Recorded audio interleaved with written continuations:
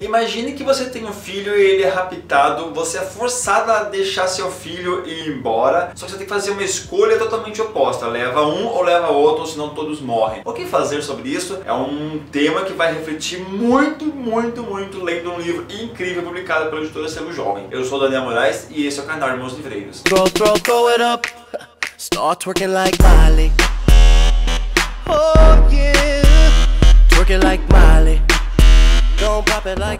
A editora Selo Jovem tem feito uns trabalhos incríveis, pegaram uns livros fantásticos e eu peguei esse livro, eu achei muito legal a capa do livro, que é a Escolha de Aaron, do Ademilson Chaves. É um livro assim, eu achei bem interessante, é o jeito que esse cara tá olhando e em algum momento eu me perguntei, aonde que tá essa expressão desse cara? O jeito que a editora fez a capa do livro retratou exatamente o momento que ele está pensando na escolha que ele tem que fazer, no momento exato que tem que acontecer. Vamos lá. Aaron é o personagem principal dessa trama Esse rapaz tá aqui na capa. Ele é casado com a Sarah, tem duas filhas, a Liz, que é de 6 anos mais nova, e a mais velha, que é a Julie. A trama acontece entre Diamantina e Montes Claros, ambos ficam em Minas Gerais. Acontece que ele não está muito bem financeiramente, perde o emprego e ele vai atrás de emprego. Tem propósito de uma cidade, assim, algo que está renovando, algo que está mudando bastante. E como ele está desempregado, aparece uma proposta de emprego bem bacana, alguma coisa relacionada à prefeitura. E lá ele descobre que tem o Diogo, que foi lá no passado passado grande amigo dele, porém desapareceu, não teve mais contato. Anos depois, já adultos, casados, com filhos, eles se reencontram. O que ele não esperava é que o Diogo era o prefeito dessa cidade. E ali ele fala: Olha, nós temos aqui um advogado super renomado, eu sei que você é um cara da lei, então vou te ajudar, eu quero que você trabalhe comigo. Só que ele não imaginava que dentro disso tinha uma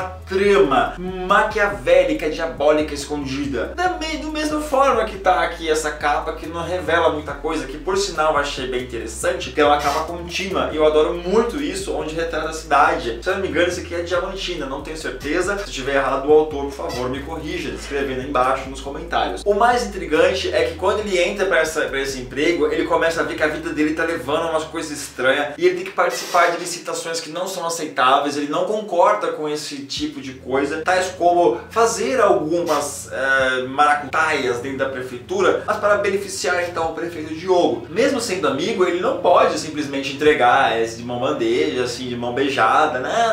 Não, ele tem que realmente atuar na profissão. Afinal, ele é advogado, tinha nome. Mas acontece que a vida dele começa a dar uma reviravolta, a Sarah fica muito estranha, tem uns contatos do passado e começa a atormentá-lo. E em certo momento ele resolve ir pra casa da mãe. Não, preciso pra mãe que eu vou pensar porque eu tô vendo que isso aqui tá estranho. Acontece uma parada nesse livro que eu não posso contar, senão eu vou passar em spoiler, mas que ele tem que sair correndo da prefeitura, é caçado pelo próprio Diogo, e aonde vão ver os advogados advogado super foda em cima dele e ele começa a correr. E ele pega as duas filhas, a Liz e a então Julie, uma vez que a Sarah não quer ir junto, não quer, você tá ficando louco, você tá ficando xarope, e eles começam, ele pega os carros, vai correndo pra uma região, e aí que aparece essa cena na capa, porque de repente um carro para e ele tem que então parar o veículo dele que acabou o combustível, porque bem na hora errada, desce algumas pessoas e ali abordam ele de uma forma assustadora. Ele vai levar um dos filhos porque é uma forma de recompensa recompensa. Só que ele não sabe do que se trata. Ele acha que seja alguma coisa, mas é um sequestro estranho. Em plena rodovia, está chovendo muito. E a hora que ele fala assim: você vai ter que definir. Ou eu levo uma das suas filhas, ou eu mato os três. É você que sabe. Você vai ver matando as duas. Pensa, olha a escolha que ele vai ter. Ele leva a pequena? Ele leva a mais velha? Mas peraí, qual pai que deixaria a filha ser levada?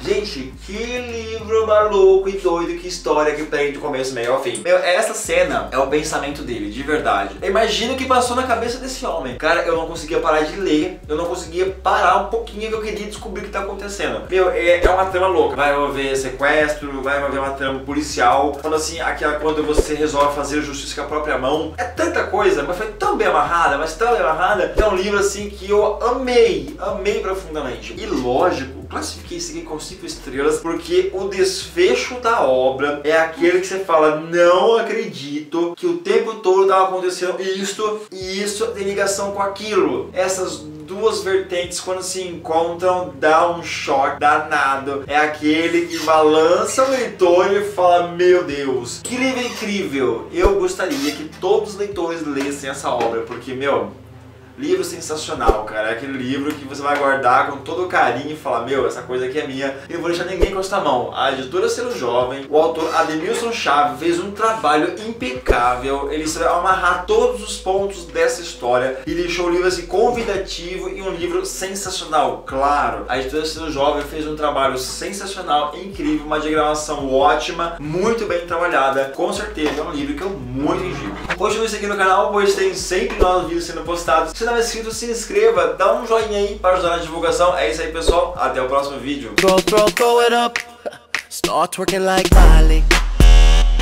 Oh. Don't pop it like.